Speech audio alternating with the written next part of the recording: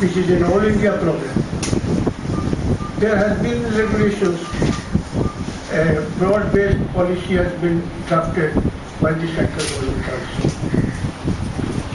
Because it's the question of livelihood of the workers also. As far as our federation is concerned, we appreciate that they earn their livelihood, but the problem has arisen, as you all know, with great difficulty, the trading community of the traders, particularly the traders of the home market, which is internationally known as the home market, now new market. The traders in the area about containing about 5,000 shops, they have been facing great trouble. Customers cannot enter into their shops. I can absolutely tell you, we are not against hawkers. This is not our policy. We appreciate that they do their business and their life. It's a question of bread and butter. But the traders who are paying the taxes, taking the trade license, paid the taxes to the municipal corporation, to the government. We want our rights to be protected.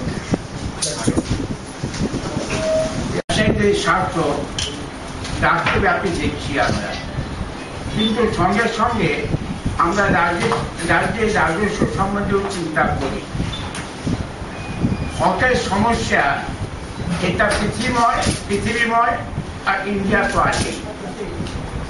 হকারের সবচেয়ে বড় সমস্যা হচ্ছে রাজনৈতিক সমস্যা।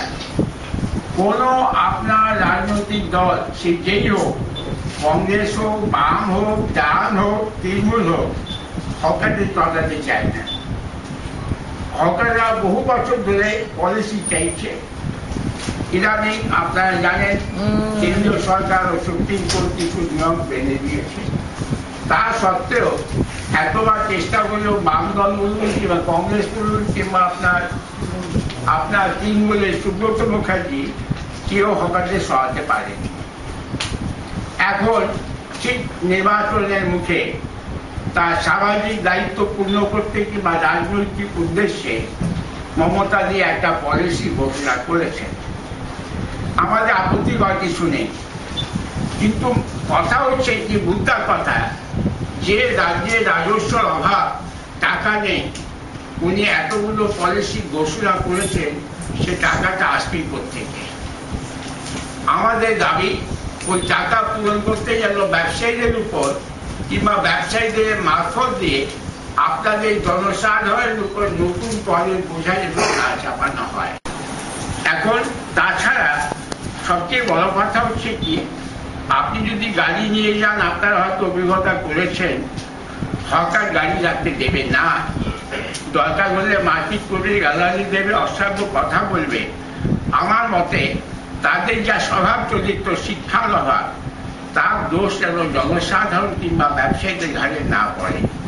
তাছাড়া অনেক কিছু আমি আপনাদেরকে লিখে দিয়েছি।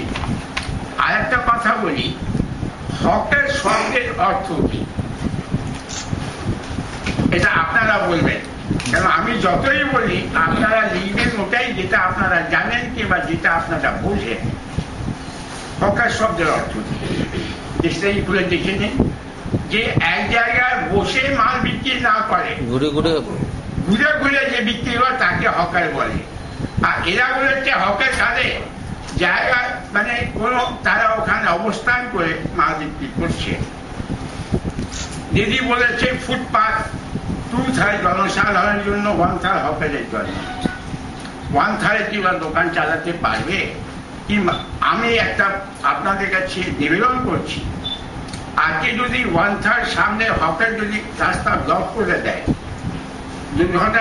কোনো জনসাধারণ কিংবা দোকানের কর্মচারী কিংবা মালিকের যদি হার্ট অ্যাটাক হয়, অ্যাম্বুলেন্স আসতে পারবে না ওর বডিকে বাড়ি বের করা যাবে না। তো আমার প্রস্তাব দুদিকে হকারের মাঝে মাঝে কিছু জায়গা ছাড়া উচিত, যাতে মাল নামানো যায়, মাল দেওয়া যায়, ক্রেতা আসতে পারে, যেতে পারে।